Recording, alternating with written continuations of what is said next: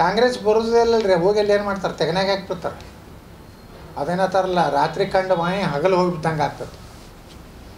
ಕಾಂಗ್ರೆಸ್ ಇಲ್ಲ ಕಾಂಗ್ರೆಸ್ಸು ಮತ್ತಿಟ್ಟು ಡೌನ್ ಆಗ್ಯದ ನಡ್ಬರಕ್ಕೆ ಮತ್ತೆ ಏರಿ, ಅವಾಗ ಏರಿತ್ತಂದ್ರೂ ಅವಾಗಿನ ಸರ್ವೆ ಪ್ರಕಾರ ತೊಂಬತ್ತು ತೊಂಬತ್ತೈದೇ ಇತ್ತು.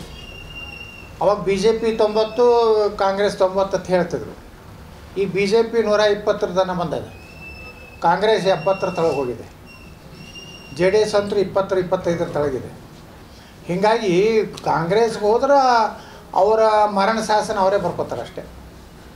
ಇಲ್ಲಿ ಇದ್ದು ಸುರಕ್ಷಿತ ಇದ್ದು ಟಿಕೆಟ್ ತೊಗೊಂಡು ಸಂತೋಷದಿಂದ ಆರಿಸ್ಬಂದು ಸಂತೋಷದಿಂದ ಮಂತ್ರಿ ಆಗೋದು ಒಳ್ಳೆಯದು. ಅಂತ ನಾ ಸಲಹೆ ಕೊಡ್ತೀನಿ ನೋಡಿ ನೋಡ್ರಿ ಈಗ ಇವತ್ತಿನಿಂದ ಚುನಾವಣಾ ನೀತಿ ಸಂಹಿತೆ ಜಾರಿ ಆಯಿತು.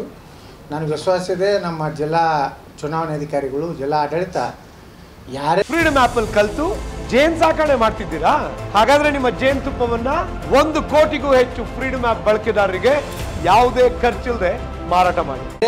ಇಂಥ ಗಿಫ್ಟ್ ಹಂಚೋರಿದ್ರೆ ನಿರ್ದಾಕ್ಷಿಣ ಕ್ರಮ ತಗೋಬೇಕು. ಯಾಕಂದ್ರೆ ನೀವು ಈ ಗಿಫ್ಟ್ ಹಂಚಲಾಕತ್ತೀರಿ ಅಂದ್ರೆ ನೀವು ಕೆಲಸ ಮಾಡಿವಿ ಅಟ್ ಮಾಡಿವಿ ಇಟ್ಟು ಮಾಡಿ ಅಂತ ಹೇಳಿ ಮತ್ತೆ ಸೀರೆ ಹಂಚ್ತೀರಿ? ಮತ್ತೆ ಗಡಿಯಾರ ಹಂಚ್ತೀರಿ? ಗಡಿಯಾರ ಸೀರೆ ಕುಕ್ಕರ್ ಅದು ಒಂದು ಹೊಟ್ಟಿನ ಕಿಮ್ಮತ್ತು ಆಗ್ತದೆ ಅದಕ್ಕೆ ನಾನಂತರೂ ವಿರೋಧದೇ ನಾನು ಹೇಳಿಬಿಟ್ಟಿನಿ ನಾ ಎಲ್ಲ ನನ್ನ ಮತಕ್ಷೇತ್ರದಾಗ ಹೇಳಿದ್ದೀನಿ ನಾ ಏನೂ ಹಂಚೋದಿಲ್ಲ. ನಾ ಮಾಡಿದ ಸಾಧನೆ ಮೇಲೆ ಓಟ್ ಹಾಕಬೇಕು. ನಾನು ಒಂದು ವರ್ಷ ಹಿಂದನೇ ದೀಪಾವಳಿ ಸಂದರ್ಭದಲ್ಲಿ ಎಲ್ಲರಿಗೂ ಗಿಫ್ಟ್ ಕೊಟ್ಟೆ. ಅವಾಗ ಕಷ್ಟದಾಗಿತ್ತು. ಕರೋನಾದಾಗ. ಲಸಿಕೆ ಹಾಕೋ ಕಾರ್ಯಕ್ರಮ ಮಾಡಿದ್ವಿ. ಅವಾಗ ಕಷ್ಟದಾಗಿತ್ತು. ಈಗ ಬಂದು ಕೆಲವು ಮಂದಿ ಸಕ್ರೆ ಹಂಚೋದು ಇದು ಸಂಸ್ಕೃತಿನೇ ಅಲ್ಲ, ಅದನ್ನು ಪೂರ್ತಿ ಚುನಾವಣಾ ಆಯೋಗ ಮತ್ತು ಚುನಾವಣಾ ಅಧಿಕಾರಿಗಳು ಕಟ್ಟುನಿಟ್ಟಾಗಿ ಅದನ್ನು ನಿರ್ಬಂಧ ಹಾಕ್ಬೇಕಂತೇಳಿ ನಾವು ಒತ್ತಾಯ ಮಾಡ್ತೇವೆ. ಫ್ರೀಡಮ್ ಅಲ್ಲಿ ಕಲ್ತು ಜೇನ್ ಸಾಕಣೆ ಮಾಡ್ತಿದ್ದೀರಾ? ಹಾಗಾದ್ರೆ ನಿಮ್ಮ ಜೇನ್ ತುಪ್ಪವನ್ನ ಒಂದು ಕೋಟಿಗೂ ಹೆಚ್ಚು ಫ್ರೀಡಮ್ ಆಪ್ ಬಳಕೆದಾರರಿಗೆ ಯಾವುದೇ ಖರ್ಚಿಲ್ಲದೆ ಮಾರಾಟ ಮಾಡಿ.